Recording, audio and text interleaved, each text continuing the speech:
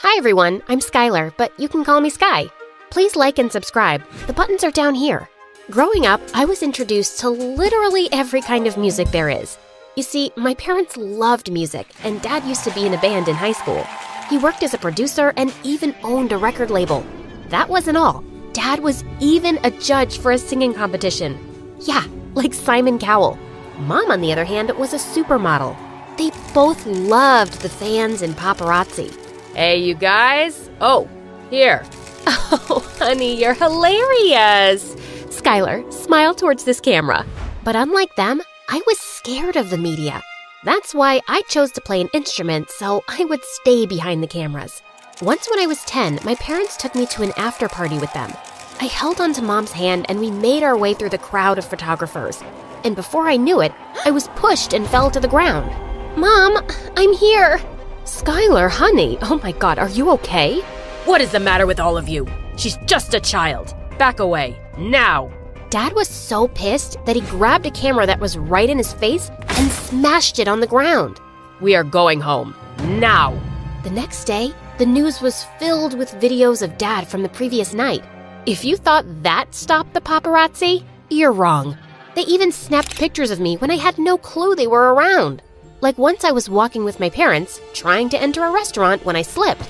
The video went viral and people made memes for days. One meme was of me falling and Spider Man catching me, another one was a meme with Doctor Strange. Ugh. This made my life in school a living hell, especially because of Daniel. The guy was a grade A jerk. What the hell's your problem, Daniel? What? I just wanted to show the world my talent. That's not talent. My dog could draw better than you. You need to get a life and stay out of mine. I did not have many friends, and the ones who were always around me wanted some favor from me. And with these memes, my life at school just got harder until I met a really nice guy when I was 15 and we started dating. One time, I invited him over to my house, but I realized that was a mistake. Oh my god, sir, I'm a huge fan. Is that Drake standing next to you? You have to let me meet him one day. Skylar, ask your dad, please. Ah, he was just like everyone else. I so hated living like this, so I begged my parents to let me transfer schools. But they told me to suck it up and get done with high school here. So I focused on perfecting the cello. And that made mom mad because, according to her, I was destined for fame. Skylar, your face is meant to be in front of a camera. Ever heard of a cellist dating a hot model? No. But singers? They date hot people all the time. It's high time you find yourself an awesome boyfriend. Forget it, Mom. Not interested. But Mom, being Mom, didn't let go of it and started setting me up on dates with other celebrity children. Most of them had their heads in the cloud and treated other people badly. I never wanted to be seen around with people like that. When I was 17, I got accepted into Juilliard, the biggest school for music and arts, and I was over the moon. I soon became friends with a few people, and I was amazed by how talented they were. One day, I reached the campus early to explore, and right before I could get to class, I rushed to the washroom closest to me. Once I was done, I saw a familiar looking guy staring at me. It was Daniel. Daniel, what are you doing here? And why are you in the girls' washroom? You creep? Oh, Skylar. Hi. This is the guy's washroom, right? I felt my eyes pop out of my skull. I ran away like a rocket. I hoped I wouldn't see Daniel for the rest of the day, but there he was, right in front of me during lunch, being swarmed by girls. What the hell? Turns out, Daniel was the best flute player on the entire campus and was quite popular. One day, Daniel and I bumped into each other right before class. Oh, I am so sorry. Um, speaking of sorry, I actually wanted to apologize for how I acted back in high school. That was very childish of me. I hope you can forgive me for it. It sure was. Fine. Only if you swear to keep the washroom incident a secret. okay, deal. Friends? Slowly, Daniel and I started hanging out every day, and it turns out he was a really nice guy. He even began coming over to my house often, but mom was not happy about it. Oh, please don't tell me you have a crush on this Daniel guy. Gosh, he's just a flute player. So uninspiring. What? Mom, He's just my friend, and there's nothing wrong with being a flute player. Thank God. So, I'm setting you up on a date with this really hot singer. Actually, a masked singer. What's his name? Uh, Sean Smith? Stan? OMG, that masked singer? Mom, I'm a fan. No, a huge fan. Perfect. Then you won't mind at all going out with him. Skylar, we need to have him signed to your dad's company. It'll be your job to convince him. Wait a minute. Are you trying to use me to get to him and expect me to lie to him? What is wrong with you? Dad, can you believe this nonsense? Sky, we won't ask you for something you can't do. This will really help out with the business. Think about it, please. Even though I didn't want to, Mom and Dad convinced me after a lot of waterworks. I wanted to tell Daniel everything, but thinking of how he'd react, I just kept it to myself. I wanted him to like me. On his birthday, I decided to get him a gift I knew he would love. It was a customized pin of a flute with his initials on it. Thank you so much, Sky. I love this. I'm gonna wear this every day. And he did. You're such a dork, Dan. It doesn't even match your outfit. Well, it means a lot to me because you gave it to me. It's like I have you with me, always.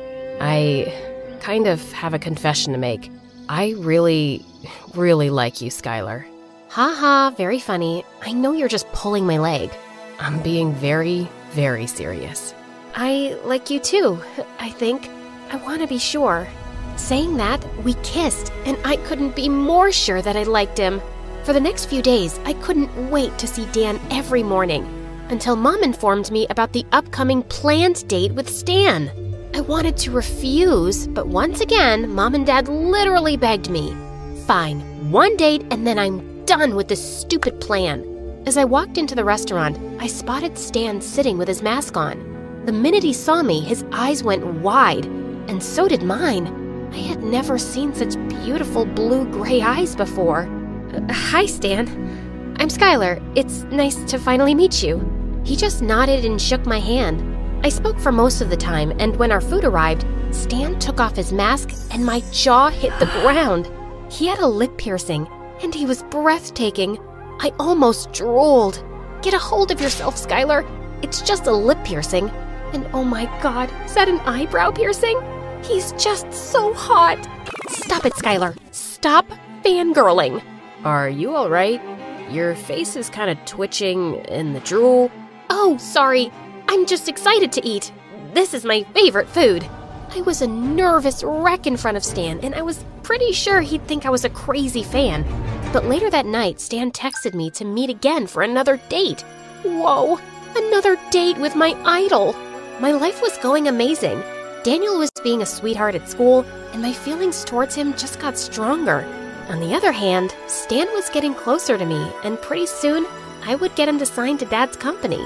Then I could finally be with Daniel. One time, Daniel took me to the park for a cute little picnic. This is beautiful, Dan. Not as beautiful as you. Oh, stop it. I can't believe how cheesy you are. If I knew this earlier, I wouldn't have said yes to being your girlfriend.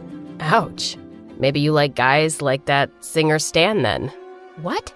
What makes you think of that? Oh, I saw a picture of you both at a restaurant on Twitter. Oh, uh, that? That was nothing. We were waiting for my mom and dad. Turns out, mom's friend is Stan's mom. Oh, that was close. I feel bad for lying to Daniel. I should tell him the truth. My dates with Stan, on the other hand, were going smoothly. He showered me with gifts, and I felt extremely guilty. No, no, I, I can't take this. It's too much. Aw, oh, come on. It's nothing.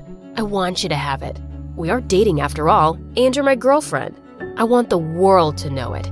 I didn't agree with him, but just nodded and plastered a smile on my face. Dating both Dan and Stan was taking a toll on me. Like once when I was on a date with Dan, I got a call from Stan. It's my mom. I'll just be back in a minute. Stan, please text me before calling. Uh, why? I can call you anytime. I'm your boyfriend, remember? Ugh, this guy. It's because I might be busy, and also, I prefer texts over calls. I get extremely awkward. I lied. I talked to Dan for hours over phone calls. When I got back to Dan, he looked a little upset. After asking him several times, he finally spoke. Why'd you lie about your mom calling you? What? I saw the caller ID before you answered, Sky. It was Stan. Is something going on? I'm sorry I lied about it being my mom, but after the whole Twitter picture thing, I didn't want you to doubt me. I trust you, Sky, but when you lie, I begin to doubt a little. Just. I promise I won't lie next time. Trust me. I hated lying to Dan, but what choice did I have? But one day, my lies came back to bite me in the butt when both Dan and Stan invited me on a date on the same day. Even though I tried to get out of the situation, I couldn't. Stan was leaving for a music tour while Dan had to fly to his grandma's place. This is it. This is the end of Skylar. I tried to rush through my dinner with Dan and tried to behave as normal as possible, but I wasn't very good at it. Sky, are you okay? Yeah, why? You keep looking at your phone and your leg won't stop shaking? You're literally shaking the entire table. Oh, I'm sorry.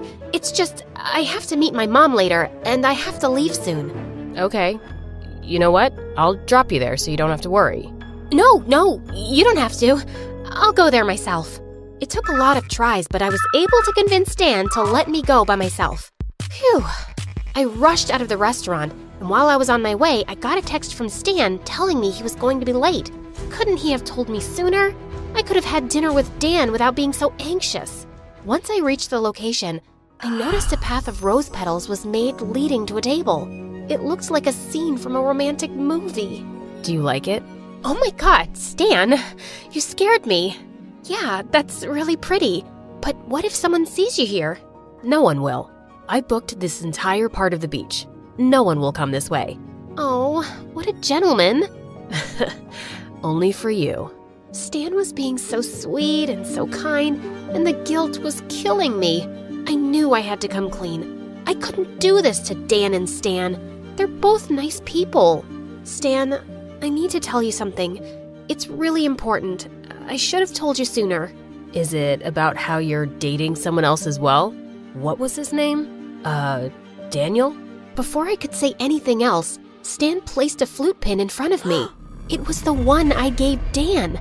When I looked up, I saw Stan take off his lip and eyebrow piercings and lenses, and he removed the makeup. Daniel? Shocked that I'm Stan or that I'm Daniel? Wait, what's happening? What's happening is, you turned out to be someone I didn't think you were. You were dating two people, even though it was just me, but still. No, I, I can explain. Look, I. I. Explained how you betrayed me?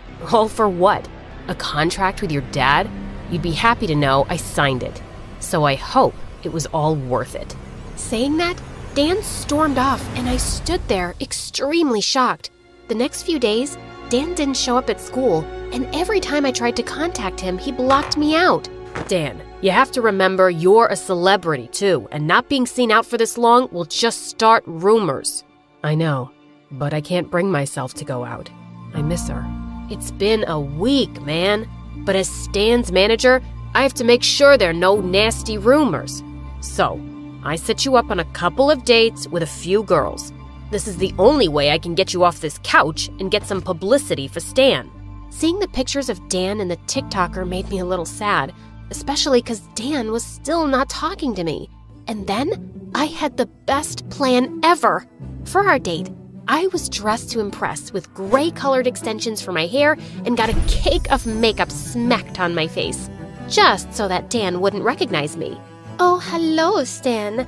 Big fan of your work. Uh, hi. So, what country are you from, Annabelle? Oh, I am uh, uh, coming from Italy.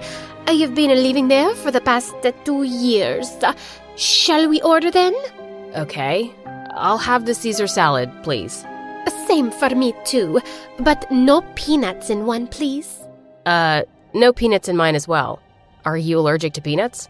Oh no, I just don't like it. I'm guessing you are. Yeah, but not everybody knows that. Right when the waiter took the menu from us, he accidentally spilled the glass of juice and it fell on my dress.